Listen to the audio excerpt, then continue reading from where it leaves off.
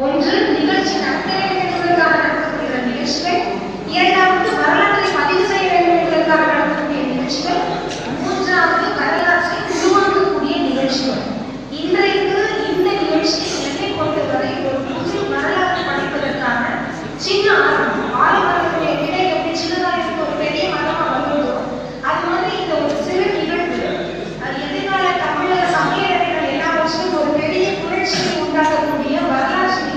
கீழே அந்த எக்ஸ்பிரஸ் நியூஸை கொஞ்சம் கீழே இருக்கு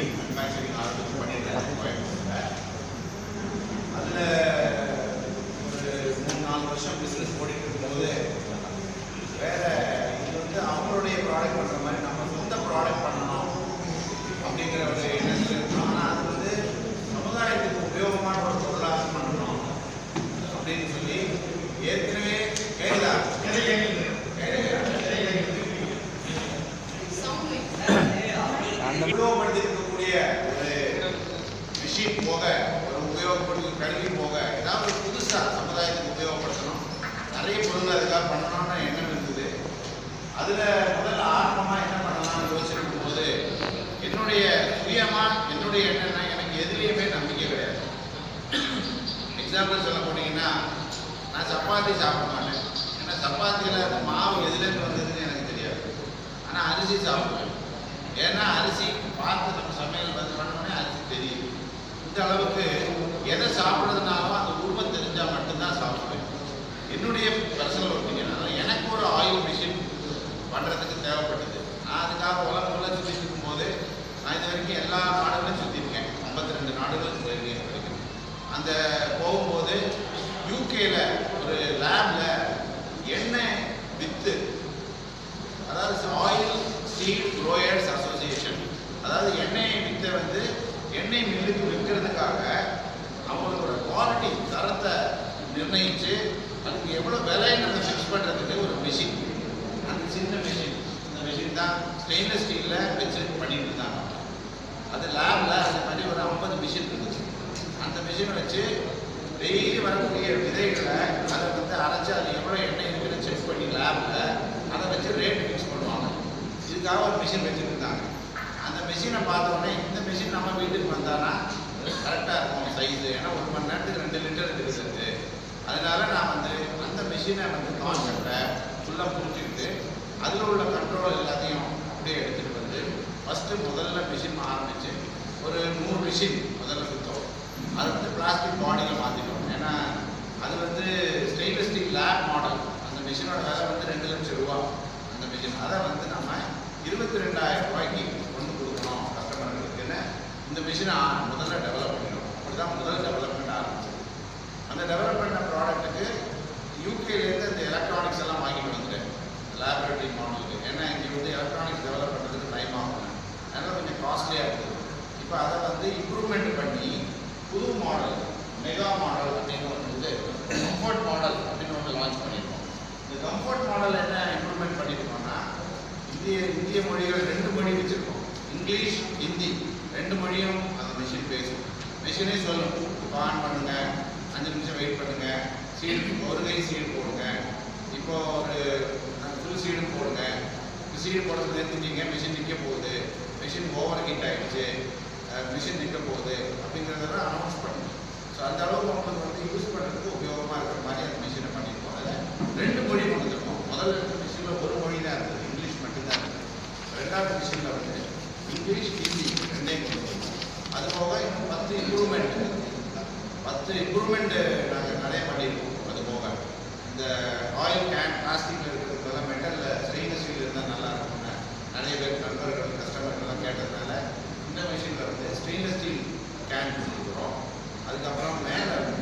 part of the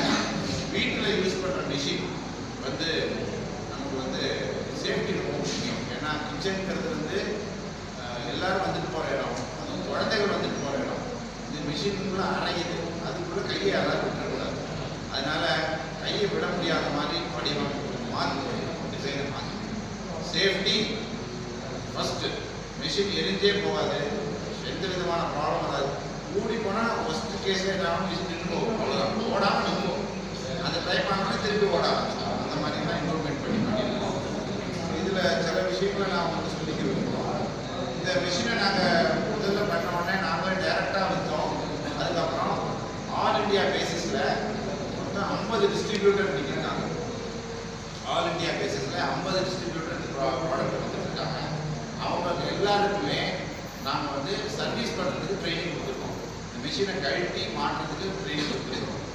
இன்னும் இந்த ட்ரைனிங் ப்ரோக்ராம் திருப்பி திருப்பி கண்டக்ட் பண்ணிக்கிட்டே இருக்கும். ஏன்னா இது வந்து வீட்டுக்கு வரக்கூடிய பொருள். பொருள் வந்து சர்வீசிங் வந்து பக்காவாக இருக்கும். அப்போ தான் கஸ்டமர்களுக்கு வந்து ஒரு திருப்தி கிடைக்கும்.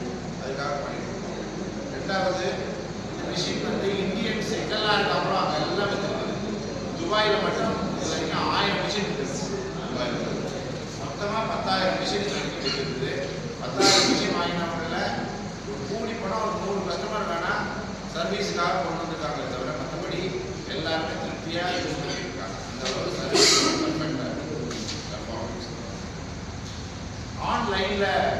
நிறைய டிஸ்ட்ரிபியூட்டர் கேட்டாங்க இது எந்த பொருளுமே இன்டர்நேஷ்னல் பொருள்னா ஆன்லைனில் இருந்தால் தான் அது ஒரு மதிப்பு அப்படின்னு சொல்லி அதனால் கம்ஃபர்ட் மிஷினை நாங்கள் ஆன்லைனில் போடல.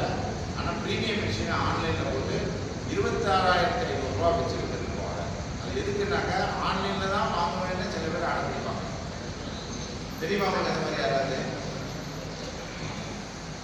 மேலே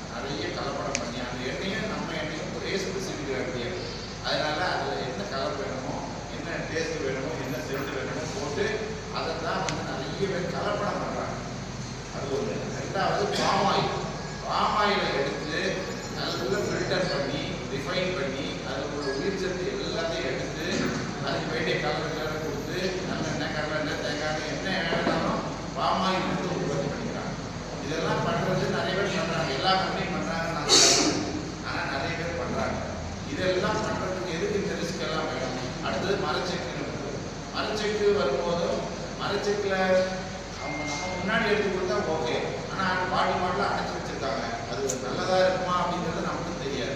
நம்ம சப்ளை பண்ண கஸ்டமர்லாம் ரொம்ப திருப்தியாக இருக்காங்க.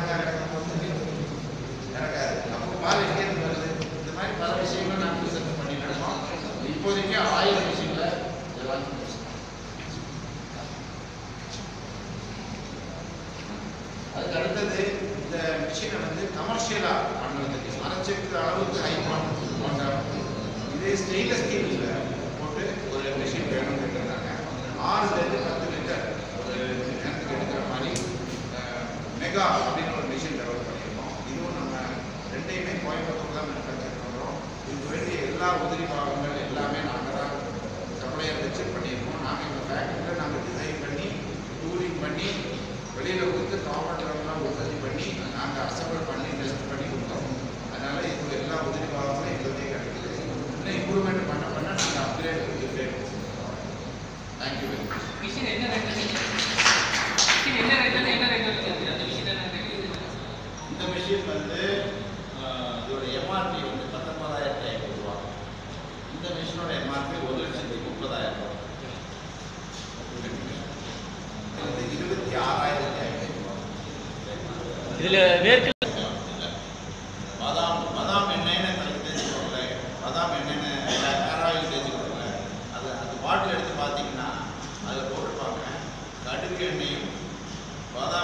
சேர்ந்து இருபத்தி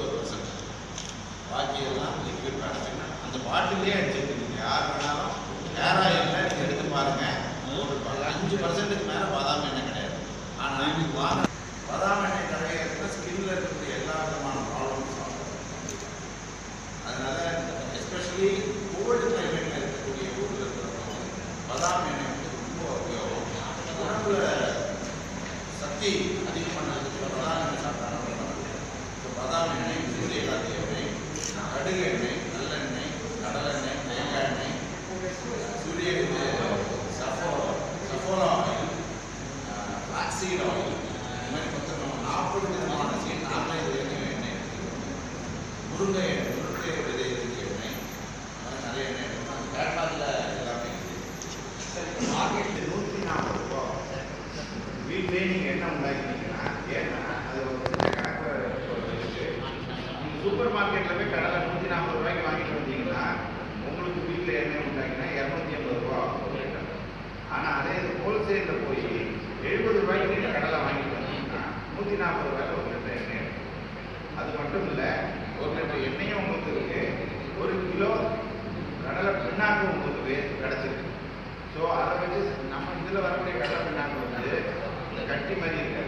ஃபுட் மாதிரி இருக்குது ஸ்நாக்ஸ் மாதிரி இருக்குது சைட் மாதிரி சாப்பிடலாம் அது ஒன்று இல்லைன்னா நீங்கள் வந்து மாடை வளர்த்துட்ருக்கீங்க அப்படி ஏதாவது கேட்டை வளர்த்துட்ருக்கீங்கன்னா அது ஃபீல் கொடுக்கலாம் ஸோ அதனால் உங்களோட காஸ்ட் வந்து இதில் வீட்டில் என்ன எடுத்தோம்னா காஸ்ட்லி ஆகிடும் அப்படின்னு நினைக்கிறது கரெக்ட் கிடையாது. சீடு இருக்கிறவங்க நிறைய பேர் இருக்கிறீங்க சீடு கடலை வந்து நூற்றி நாற்பது ரூபா சுத்தமாக மார்க்கெட்டில் அந்த கடலையே வாங்கினா கடையில் கிடைக்கிற கடலெண்ணெயை விட வீட்டில் நல்ல நல்லெண்ணெய் கடலெண்ணெய் சீப்பாகவே நீங்கள்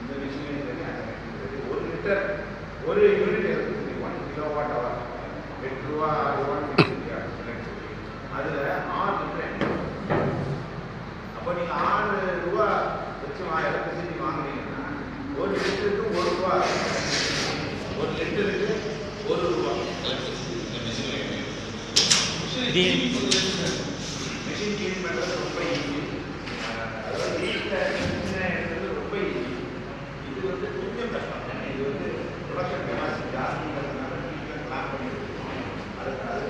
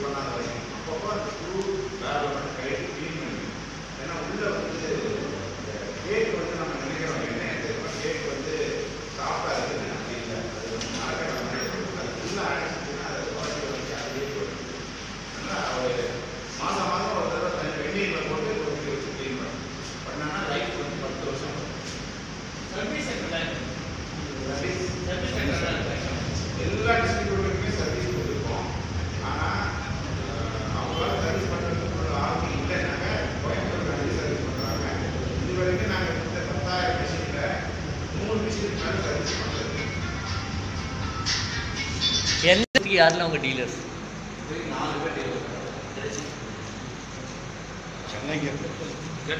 சார் சொல்லுங்க ஒரு நல்ல ஆரோக்கியம் வேணும் அப்படின்னா அந்த காலத்துல சொல்லுவாங்க எண்ணெயும் தண்ணியும் மட்டுமே ஒரு குழந்தை